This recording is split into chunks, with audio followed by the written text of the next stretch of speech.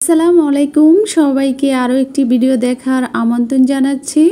আশা করছি যে যেখান থেকে আজকের এই ভিডিওটি দেখছেন, সবাই অনেক ভালো আছেন, সুস্থ আছেন। আজকের পর্বে শুটকি ভর্তার রেসিপি শেয়ার করব। আর এই ভর্তাটা যে একবার খাবে, সে সারা জীবনে এর স্বাদ ভুলতে পারবে না। চলুন তাহলে পুরো ভিডিওটি দেখে নেওয়া যাক। প্রথমে আমি এখানে শুটকি ভালোভাবে ধুয়ে নিয়েছি আর রসুন নিয়েছি দশ থেকে বারোটা। আর একটা বড় সাইজের পেঁয়াজ কেটে নিয়েছি আর আট থেকে দশটা কাঁচামরিচ নিয়েছি। এগুলো আমি বেটে নিব আর পুঁই শাকের পাতাগুলো আলাদা করে রেখে দেব। এপাশে চুলায় আমি হাফ কাপের মতো পেঁয়াজ কুচি বসিয়ে দিয়েছি একটা প্যানে আর দিয়ে দিচ্ছি দুই টেবিল চামচ তেল। এখন পেঁয়াজটাকে হালকা করে একটু ভেজে নিব আর তেলের পরিমাণটা একটু কম দেওয়ার চেষ্টা করবেন। পেঁয়াজটা একটু হালকা করে ভেজে নিলেই হবে। এর থেকে আর বেশি ভাজার দরকার নেই। পেঁয়াজটা ভাজা হয়ে গেছে। এখন আমি এখানে বেটে রাখা শুটকি, পেঁয়াজ, রসুন, কাঁচামরিচের মিশ্রণটা দিয়ে দিচ্ছি। এখন পেঁয়াজের সাথে ভালো করে মিশিয়ে নিব।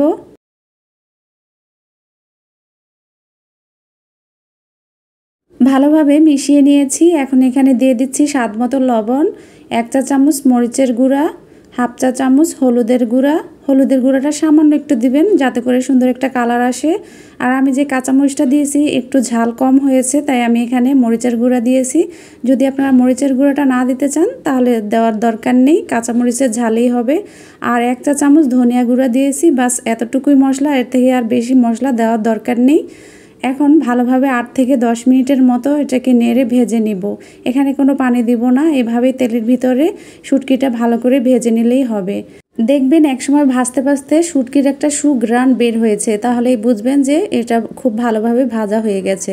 এখন ঠান্ডা করে নিব, তারপরে আমি বড়াগুলো বানাবো। বড়াগুলো বানাতে চলে এসেছি, প্রথমে একটা পুঁই শাকের পাতার উপরে এভাবে একটু শুটকি ছড়িয়ে দিচ্ছি, আর এটা ঠান্ডা করে নেবেন। তারপরে দুই পাশ থেকে আমি পাতাটা একটু ভেঙে দিচ্ছি। আমি কীভাবে কাজটা করছি একবার দেখলেই হবে।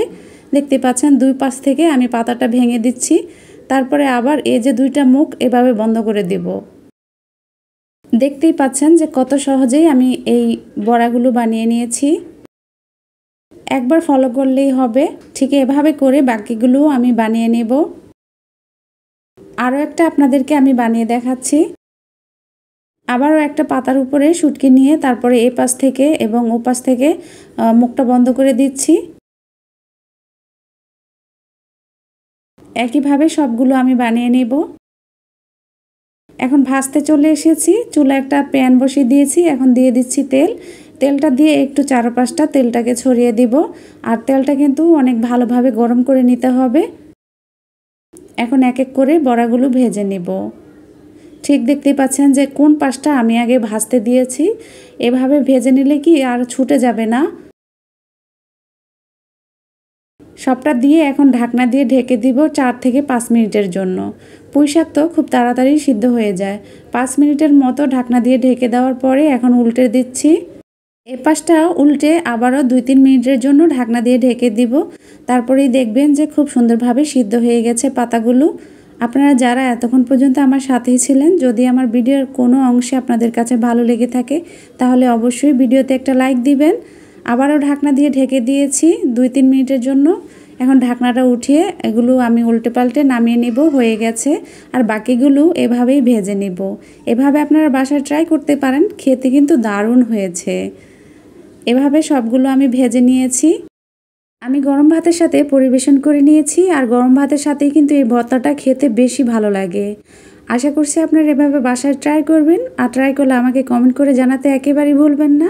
আর যারা এখনও আমার চ্যানেলটি সাবস্ক্রাইব করেননি প্লিজ চ্যানেলটি সাবস্ক্রাইব করে আমার পাশেই থাকবেন। আর হ্যাঁ একটা লাইক দিতে কিন্তু একেবারে ভুলবেন না।